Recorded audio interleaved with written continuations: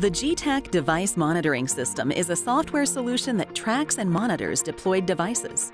The GDMS is designed to monitor critical system information from a central dashboard, provide device warning alerts, generate reports, and has configurable account management. Today, operational efficiency is heavily reliant on mobile device uptime. Even the slightest interruption can result in business disruption, lost revenue, reduced productivity and recovery, and remediation expense. Yet, downtime is avoidable. GDMS ensures you have the technology you need when you need it.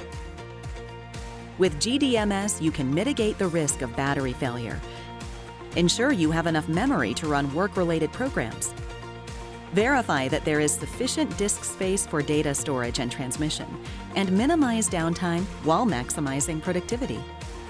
GDMS optimizes your investment in technology you can monitor and maintain devices yourself or let a GDMS trained expert do it for you.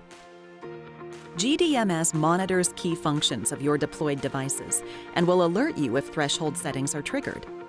Monitored functions include battery health, system performance, firmware updates, drive health, and Getac software updates. All available on the device monitoring dashboard.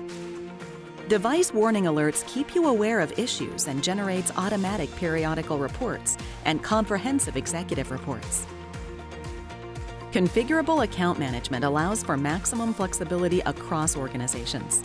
With GDMS E+, you can have a GDMS trained expert monitor your devices and actively manage hardware key item replacements. The GDMS trained expert will schedule the OTA update based on your demand to keep your Getac software and firmware up to date. All you need to do is click the consent button. GDMS is strengthened by our world-class service and support. Discover a better way to monitor devices, only from Getac.